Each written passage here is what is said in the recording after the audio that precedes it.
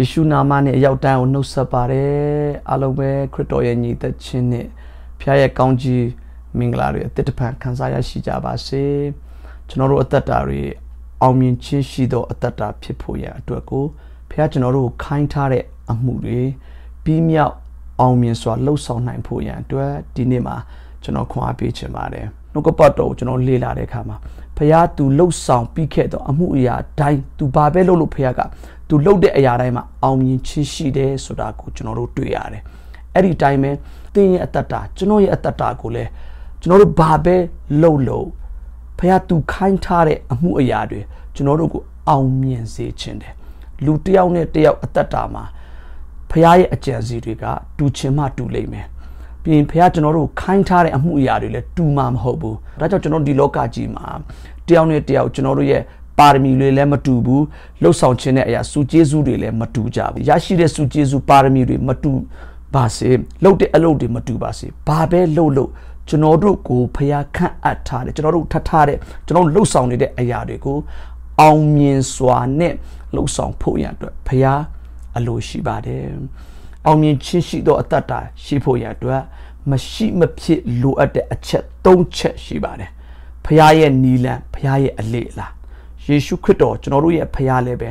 ထိုနီးလန့်ထိုအချက်၃ချက်အားဖြင့်ဤလောကမှာအောင်မြင်ခြင်းကိုသူရသွားတယ်ဆိုတော့ကျွန်တော်တွေ့ရတဲ့အတိုင်းထိုအရာကိုတင့်ကိုလည်းကျွန်တော်နှုတ်ကပတ်တော်အားဖြင့်ပြန်လည်ခွန်အားပေးခြင်းပါတယ်ဖခင်ကျွန်တော်တို့အပ်ထားသောအမှုအရာတွေပြီးမြောက်အောင်မြင်စွာနဲ့လှုပ်ဆောင်နိုင်ဖို့ရန်အတွက် မရှိမဖြစ်လိုအပ်တဲ့အချက်၃ချက်ထဲမှာနံပါတ်1အချက်ကဘာလဲဆိုရင်ချစ်ချင်းမေတ္တာစေတနာစိတ်အပြည့်အဝထားပြီးလှုပ်ဆောင်ခြင်းပဲဖြစ်တယ်။တစ်ကောခန်းကြီး16အငယ်14မှာတင်တို့သည်ခတ်သိမ်းသောအမှုတို့ကိုချစ်ချင်းမေတ္တာစိတ်နှင့်ဆောင်ရွက်ကြလောတဲ့။ဘာကိုပဲလှုပ်လှုပ်ဘယ်နေရာမှာပဲလှုပ်လှုပ်ဘယ်အရာကိုပဲလှုပ်လှုပ်ချစ်ချင်းမေတ္တာစိတ်နဲ့လှုပ်ဆောင်ပါလို့ဘုရားကျွန်တော်တို့ကိုပြောနေတယ်။ တာဝန်အရာမလှုပ်ပါနဲ့လို့ပြောနေတာ ਨੇ အတူတူပါပဲ။တာဝန်အရာပုံစံမျိုးဒီစေတနာစိတ်မပါဘဲနဲ့ပေါ့နော်လေလှုပ်တာမျိုးဖះလုံးဝမကြိုက်ပါဘူးယေရှုခရစ်တော်ဤလောကကိုလာတယ်တလောက်နာကျင်ခြင်းဝေဒနာတွေခံစားရစွန့်ပစ်ခံရတယ်ခမဲတော်ဖះလည်းသူ့ကိုစွန့်ပစ်တယ်တပည့်တော်တွေသူ့နောက်လိုက်တဲ့လူတွေအများကြီးကသူ့ကိုစွန့်ပစ်တယ်အတိုက်ခံရတယ်ဒီလိုဆင်းရဲဒုက္ခအမျိုးမျိုးကိုကိုတော်တလောက်ခံခဲ့ရတာတောင်မှဘာကြောင့်ဒါတွေကိုမမှုဘဲနဲ့ ပေးဆက်ခဲ့ရတာလဲဆိုလို့ရှိရင်ယေရှုမှာ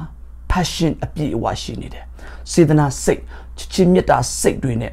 ပြည့်ရှံနေတယ်အချစ်မီးတွေတောက်လောင်နေတယ်အဲ့ဒီအတွက်ကြောင့်မလို့ကိုအခက်အခဲဆင်းရဲဒုက္ခတွေနာကျင်ခြင်းတွေဟာကိုရောရဲ့စေတနာချစ်ချင်းမေတ္တာစိတ်ကိုမကြော်လွန်နိုင်ဘူးနေရာမယူနိုင်ဘူးဖြစ်နေတယ်ဒါကြောင့်ပဲယေရှုခရစ်တော်အသက်တာဖခင်ရဲ့စိတ်နှလုံးတော်ကိုကြည်တဲ့အခါမှာဆိုလို့ရှိရင်လည်းပဲချစ်ချင်းမေတ္တာစိတ်အပြည့်အဝနဲ့ စေတနာစိတ်အပြည့်အဝနဲ့ဘာကိုပဲလုပ်လို့ဖခင်လှုပ်ဆောင်တယ်ဆိုတော့ကျွန်တော်တို့တွေ့ရတယ်အဲ့ဒီလိုပဲကျွန်တော်တို့ရဲ့အသက်တာမှာဘယ်အလုတ်ကိုပဲလှုပ်လို့ဘယ်ကန္ဓမှာပဲသင်ပါဝင်ပါဝင်သင်ကိုဖျားခန့်အပ်ထားတဲ့အလုတ်ကိုစေတနာစိတ်အပြည့်အဝချစ်ချင်းမေတ္တာစိတ်နဲ့လှုပ်ဆောင်ပါလို့နံပါတ်1သင်ကိုကျွန်တော်ခွန်အားပေးချင်ပါတယ်ဒုတိယအချက်ကကြတော့ကျွမ်းကျင်မှုဖြစ်ပါတယ် ဖျားရဲ့နီလန်းနဲ့အလေးအလောက်ပြန်လေ့လာမယ်ဆိုလို့ရှိရင်ဖျားကလူတွေကိုကယ်တင်ဖို့ရန်အတွက်ဤကယ်တင်ခြင်းစီမံကိန်းကြီးကိုကဘာမတီမရှိမိကတဲ့ကိုကဖခင်ကရေးဆွဲထားတယ်ဆိုတာကျွန်တော်တို့တွေ့ရတယ်တစ်ကောခန်းကြီးနဲ့အငဲခုနှစ်နဲ့ရှစ်ကိုပြန်ကြည့်မယ်ဆိုလို့ရှိရင်ဤကဘာမတီမရှိမိငါတို့၏ဘုံအတီဖြစ်စေခြင်းကဘုရားသခင်စီရင်တော်မူသောပညာနည်းနည်းသောအရာ၌ဝတ်ထားသောဘုရားသခင်ပညာကိုငါတို့သည် ပြသကြ၏တဲ့ထိုပညာကိုလောကီမြေတစုံတယောက်မှမသိ သိအလျင်ဘုံကြည့်တော်မူသောသခင်ကိုလဝါကတ်တိုင်မှာမကွက်မြက်ကြပြီတဲ့ဒီရောက်ကြည့်ချင်းအပြရှင်းရှင်းလေးပါကျွန်တော်တို့လူသားအားလုံးဖခင်ကယ်တင်ဖို့ရန်အတွက်ကဘာမတီမရှိမိကြတဲ့ကိုကဖခင်မစီမံကိန်းရေးဆွဲထားတယ်ဆိုတော့ကျွန်တော်တွေ့ရတယ်ထိုပညာတဲ့အဲ့ဒီပညာကိုလောကီမင်းတစုံတယောက်မှမသိဘူးလေတီးလို့ရှင်ဘုံကြီးသောသခင်ကိုလဝါကားတယ်မှာမကွမြတ်ကြဘူးတဲ့လူသားတွေကိုကယ်တင်ဖို့ဖះဟာကဘာမတီးမရှိမိကိုကယ်တင်ခြင်းစီမံကိန်းကိုရေးဆွဲထားတယ် အဲ့ဒါဘယ်နည်းလမ်းအဖြစ်လဲဆိုတော့ယေရှုခရစ်တော်အသေးခံခြင်းအဖြစ်ကျွန်တော်တို့လူသားအားလုံးရဲ့အပြစ်တွေအပြစ်တွေကိုစားယေရှုအသေးခံခြင်းအဖြစ်ကျွန်တော်တို့လွတ်မြောက်ခြင်းရဖို့ကယ်တင်ခြင်းရဖို့ဟာဒါဖခင်ရဲ့အစီအစဉ်ဖြစ်တယ်တစ်ဖက်မှာကြတော့အဲ့ဒီအရာကိုစာတန်မသိဘူးစာတန်ထင်ထားတာယေရှုကိုငါတတ်နိုင်လို့ရှင်ငါအောင်ပြီငါနိုင်ပြီလို့သူထင်ထားတယ်ဒါပေမဲ့စာတန်မသိတဲ့တစ်ဖက်မှာ ဖျားဖွက်ထားတဲ့ဖျားရဲ့ပညာဖျားရဲ့အစီအစဉ်ဖျားရဲ့စီမံကိန်းဟာယေရှုတည်ခြင်းအပြင်ကျွန်တော်တို့အားလုံးကယ်တင်ခြင်းရပြီးတော့အမွေရမယ်ကောင်းကြီးရမယ်ဆိုတော့စာတန်မသိဘူးတီးလို့ရှိရင်စာတန်ဘယ်ယေရှုကိုတတ်ပါမလဲအဲ့ဒါကိုကြည့်ခြင်းအပြင်ဖျားဟာလူတွေကိုချစ်ယုံမက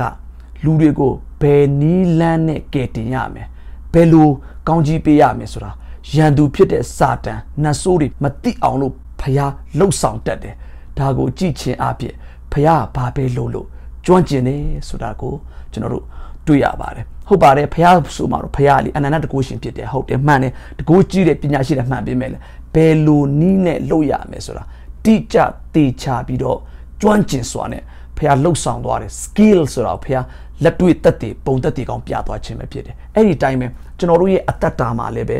ဘာပဲလှုပ်လို့စေတနာစိတ်ရှိုံတွေမကပဲနဲ့ ကျွမ်းကျင်စွာနဲ့ skill ရှိပြီးမှလှုပ်ဆောင်တတ်ဖို့ရန်အတွက်လည်းဖះကျွန်တော်တို့ကိုအလိုရှိတယ်မှန်ပါတယ်မိတ်ဆွေဘလောက်ပဲစေတနာစိတ်ရှိပါစေဘလောက်ပဲစိတ်အားထက်သန်ပါစေကိုလှုပ်ဆောင်နေတဲ့အရာတွေမှာကျွမ်းကျင်မှုမရှိဘူးဆိုလို့ရှိရင်အောင်မြင်ခြင်းရှိမှာမဟုတ်ဘူးအဲ့အတွက်ကြောင့်မိတ်ဆွေသာသနာလုပ်ငန်းမှာတော့၎င်းအသင်းတော်လုပ်ငန်းမှာတော့၎င်းမိသားစုဥဆောင်တဲ့ခါမှာတော့၎င်းဇီးပွားရေးပဲလှုပ်လို့ဘာပဲလှုပ်လို့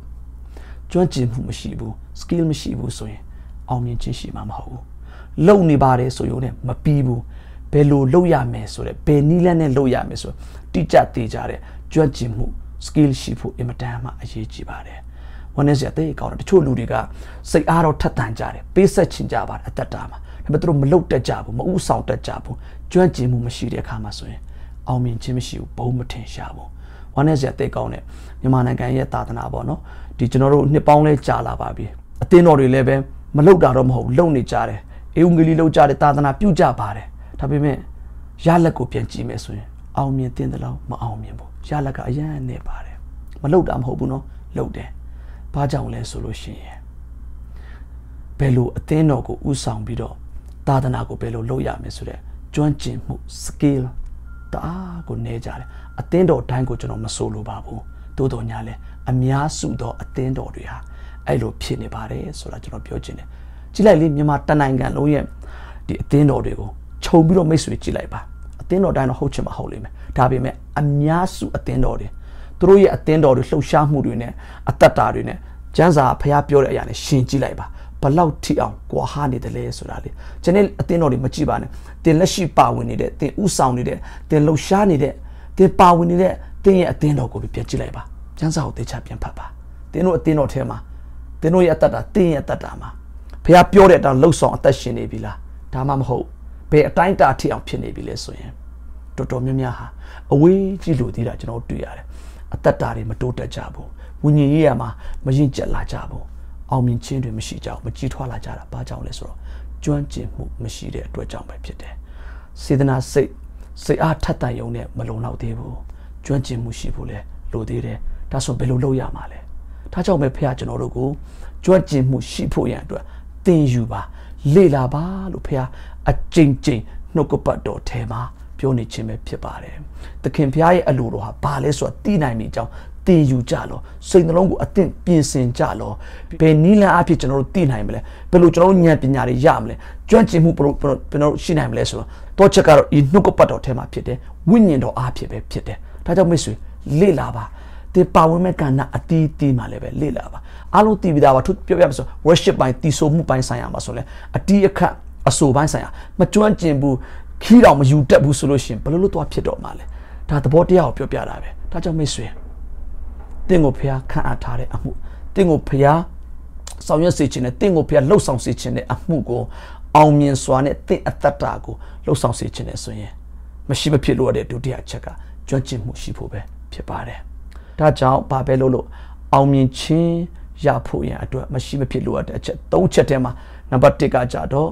ချစ်ချင်းမေတ္တာစိတ်စေတနာစိတ်အပြေးအဝနဲ့လှုပ်ဆောင်ဖို့ဖြစ်တယ်။နံပါတ်2ကကြတော့ကျွမ်းကျင်မှုရှိဖို့လိုတယ်။နောက်ဆုံးနံပါတ်3အချက်ကကြတော့တစိုက်မတ်မတ်လှုပ်ဆောင်ဖို့ပဲလိုတယ်စေတနာစိတ်လည်းရှိတယ်ကျွမ်းကျင်မှုလည်းရှိတယ်ဒါပေမဲ့တစိုက်မတ်မတ်မလှုပ်ဆောင်ဘူးဆိုရင်အောင်မြင်မှုပြန်ရှိနိုင်မှာမဟုတ်ဘူး လူတွေအတွက်ကိုဖះစီမံကိန်းဆွဲပြီးတော့ကျွမ်းကျင်စွာနဲ့ဖះညံတော်နဲ့ကဲတင်သွားတယ်ဆိုတော့ကျွန်တော်တို့တွေ့ရတယ်အဲ့ဒီအတိုင်းပဲထိုကဲတင်ချင်းစီမံကိန်းဖះရဲ့အကြံစီတွေအောင်မြင်ဖို့ရန်အတွက်ဖះဟာတစိုက်မမလှုပ်ဆောင်တယ်ဆိုတာကိုကျွန်တော်တွေ့ရတယ်ယေရှုခရစ်တော်ဤလောကကိုလာတဲ့အခါမှာကိုရောဝင်ငှခဲ့တဲ့ကိုရောပြောခဲ့တဲ့အရာတွေပြန်လေ့လာတဲ့အခါမှာဆိုကျန်တဲ့အရာတွေလှုပ်ဖို့လာတာမဟုတ်ဘူးငါခမဲတော်ငါ့ကိုခန့်အပ်ထားတဲ့အမှုကိုပဲပြီးစည်းစေဖို့ပဲငါလာတယ်လို့ယေရှုကပြောနေတယ် မဆိုင်တဲ့အရာမှာကိုတော့ဘာမှမလုပ်ဘူးဖះခန့်အပ်ထားတဲ့အမှုကိုပဲပြီးအောင်လို့တဆိုင်မှမှန်လုပ်တယ်ဆိုတာကျွန်တော်တို့တွေ့ရပါတယ်။ယောဟန်ခန်းကြီးစခွန်အငယ်လေးမှာဒီလိုပြောတယ်ကျွန်ုပ်ဒီမြေကြီးပေါ်မှာကိုရောဘုံကိုထင်ရှားစေပါပြီ။ကျွန်ုပ်ဆောင်ရွက်စရာဖို့ကျွန်ုပ်၌အပေးတော်မူသောအမှုကိုကျွန်ုပ်ဆောင်ရွက်၍ပြီးပါပြီတဲ့။ယေရှုလည်းပဲဖခင်ရဲ့ဘုံကိုဘယ်နည်းလမ်းနဲ့ထင်ရှားစေတယ်လဲဆိုရင် ဖခင်ခိုင်းထားတဲ့ဖခင်အပ်ထားတဲ့အမှုကိုလှုပ်ဆောင်ပြီးစီးစေခြင်းအားဖြစ်ပဲဖခင်ဘုံကိုထင်ရှားစေခဲ့တယ်။ဒါကြောင့်သင်ရဲ့အတ္တတာမှာလည်းပဲဖခင်ခိုင်းတဲ့အရာဖះအပ်ထားတဲ့အမှုကိုတင်လှုပ်ခြင်းအဖြစ်ပဲဖះဘုံကိုတင်ထင်ရှားစေမှာဖြစ်တယ်ဖះမခိုင်းတဲ့အလုပ်ကိုတင်လှုပ်မယ်ဆိုရင်အချီးနီးတက်တက်ဖြစ်မယ်အချိန်ကုန်မယ်လူပင်ပန်းမယ်ဖះဘုံကိုထင်ရှားစေမှာမဟုတ်ဘူးဒါကြောင့်မိတ်ဆွေတင်ရဲ့အတ္တတာမှာတင်အရာရာတိုင်းကို ပြီးမြောက်အောင်လှုပ်ဆောင်နိုင်ဖို့တင်မှာအချိန်လည်းမရှိဘူးတင်မှာစွမ်းအားလည်းမရှိဘူးတင့်ကိုဖះကောင်းကြီးပေးတာတင့်ကိုဖះစုကျေးဇူးပေးတာသူခိုင်းတဲ့အလုပ်သူအပ်ထားတဲ့အမှုကိုပဲပြီးအောင်လို့ပဲထိုအလုပ်နဲ့သက်ဆိုင်တဲ့စုကျေးဇူးနဲ့စွမ်းအားနဲ့စွမ်းရည်ကိုအချိန်ကိုပဲတင့်ကိုပေးပါတယ်ဒါကြောင့်မိတ်ဆွေတင့်မှာအချိန်အများကြီးမရှိဘူးဆိုတာကျွန်တော်ပြောချင်တယ်ဖះမခိုင်းတဲ့အရာတွေအတွက်တင့်အချိန်ပေးလိုက်မယ်ဆိုရင်တစ်ဖက်ကတင့်ကိုဖះခိုင်းတဲ့အရာအတွက်တင်လွဲသွားလိမ့်မယ်ဒါကြောင့်မိတ်ဆွေ ဖះတင့်ကိုခန့်အပ်ထားတဲ့အမှုတင့်ကိုဖះခိုင်းတဲ့အလုပ်ကိုပဲတစိုက်မတ်မတ်အချိန်ကောလှုပ်အားကောငွေအားကောထိုအရာအတွက်ကိုပဲအချိန်ပေးပါလို့ကျွန်တော်တင်ကိုခွန်အားပေးချင်ပါတယ်လူဟာလေအောင်းစရာတိတ်ကောင်းတယ်ဟိုဟာလေလှုပ်ချင်တယ်ဒီဟာလေလှုပ်ချင်တယ်ဟိုမှာလေပါဝင်ချင်တယ်နေရာတကာမှလေနှစ်နှစ်ဆက်ဆက်ကိုကဝင်ပါပြီးကိုကလိုက်လှုပ်ချင်နေတယ်မိတ်ဆွေ အရာရာတိုင်းကိုလှုပ်ဖို့တင်မှာအချိန်မရှိသလိုတင်မှာစွမ်းအားလည်းမရှိဘူးဆိုတာကျွန်တော်ထပ်မံသတိပေးခြင်းတယ်လောကမှာတချို့လူတွေအသက်ရှည်ကြတယ်တချို့လူတွေစောစီခေါ်တော်မူခြင်းခံရတာလည်းရှိတယ်ယေရှုတက်တာကိုကြည့်မယ်ဆိုရင်လည်းပဲအလုံးတည်ပြီးသားဖြစ်တယ်ဘောနော်လေ33နှစ်ခွဲမာတယ်ယေရှုကားစင်တက်ပြီးတည်တဲ့တည်ခြင်းကိုပြင်ရှင်းမြထားမြောက်ပြီးတော့ဒီလိုမျိုးစောစီစီပဲ33နှစ်ဆိုတာကပြောမှဆိုလူတွေရဲ့တက်တန်290 80လေဘာကြောင့်290 80လောက်ထိတောင်မှဖျက်ဆက်မထားတာလဲ အဲ့တော့ပြကြည့်လိုက်မယ်ဆိုရင်ဖျားခိုင်းထားတဲ့အလုပ်ကိုယေရှုဟာပြီးမြောက်အောင်မြင်စွာလှုပ်ဆောင်ပြီးတဲ့အခါမှာဆိုဘုရားစထထမထားတော့ဒါကြောင့်အကြာကြီးနှစ်တွေအကြာကြီးအသက်ရှည်တာအသက်တိုတာတွေကအဓိကမဟုတ်ပြန်ဘူးအဓိကကကိုကိုဘုရားခိုင်းထားတဲ့အလုပ်ကိုကိုအပ်ထားတဲ့အမှုကိုပြီးမြောက်အောင်မြင်အောင်အောင်မြင်စွာလှုပ်ဆောင်နိုင်ဖို့ပဲအဓိကဖြစ်တယ်ဒါကြောင့်မိတ်ဆွေတင့်မှာ ဖျားခိုင်းတဲ့အလုပ်ကိုလုပ်ဖို့ပဲအချိန်ရှိတယ်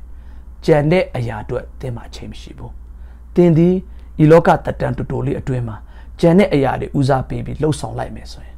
တင်းဖျားခိုင်းတဲ့အလုပ်ကိုပြအောင်လုပ်နိုင်မှာမဟုတ်တော့ဘူးလွဲသွားလိမ့်မှာဖြစ်တော့ကြောင်းဖျားခိုင်းတဲ့အလုပ်ကိုပဲတစိုက်မတ်မတ်လုပ်ပါလို့ထပ်မှန်ပြီးတော့အစုံသက်အနေနဲ့ခွန်အားပေးခြင်းပါတယ်တယောက်နဲ့တယောက်ကျွန်တော်တို့ဖျားအပ်ထားတဲ့ခိုင်းထားတဲ့အလုပ်ဟာတူချင်မှတူလိမ့်မယ် ဒါပေမဲ့တူညီတာကတော့ထိုအမှုအရာကိုတစိုက်မမတ်စွာအားလှုပ်အားအကုန်လုံးစိုက်ပြီးတော့ focus လုပ်ပြီးတော့တကယ်စူးစမ်းပြီးလှုပ်ဆောင်ဖို့ဖရားလိုရှိပါတယ်ဆိုတော့ကျွန်တော်ပြောချင်တယ်ဒီတော့အောင်မြင်ခြင်းရှိဖို့ရန်အတွက်မရှိမဖြစ်လိုအပ်တဲ့ဖရားရဲ့နီလန်အချက်၃ချက်ကကြတော့နံပါတ်1ချစ်ချင်းမြတ်တာစေတနာစိတ်အပြည့်ဝထားပြီးလုပ်ပါနံပါတ်2ကျွမ်းကျင်မှုရှိပါနံပါတ်3တစိုက်မမတ်လုပ်ပါ အဲ့ဒီနီလန်အဖြစ်ပဲယေရှုခရစ်တော်ဟာလည်းပဲဒီလောကမှာဖရားရဲ့အကြံစီအောင်မြင်စွာလှုပ်ဆောင်နိုင်ခဲ့တယ်။ဒါကြောင့်အရောက်တိုင်းရဲ့အသက်တာထဲမှာမတူညီသောအလုပ်တွေကိုလုပ်နေတော့ညာလဲမတူညီသောကဏ္ဍမှာပါဝင်နေကြတော့ညာလဲဖရားရဲ့အကြံစီအရောက်တိုင်းရဲ့အသက်တာအထဲမှာပြည့်စုံလာဖို့ရန်အတွက်သင်ကိုအပ်ထားသောအမှုပြည့်မြတ်အောင်မြင်စွာလုပ်နိုင်ဖို့ရန်အတွက်သင်ဘယ်အရာကိုပဲလုပ်လို့စေတနာစိတ်အပြည့်အဝနဲ့လုပ်ပါကျွမ်းကျင်မှုရှိပါလေ့လာပါပြီးရင်တစိုက်မမတ်ထိုအရာကိုပဲလှုပ်ဆောင်ပါလို့ ဤနှုတ်ကပတ်တော်နဲ့ခွန်အားပေးချင်ပါတယ်အရောက်တိုင်းပဲဖခင်ရဲ့အမှုကိုအောင်မြင်ပြီးစီးစွာနဲ့လှုပ်ဆောင်နိုင်သောသူတွေဖြစ်ဖို့ဝိညာဉ်တော်ဖျားမဆာပါစေရောက်တိုင်းဖျက်ရှင်တာရကောင်းကြီးပေးပါစေအာမင်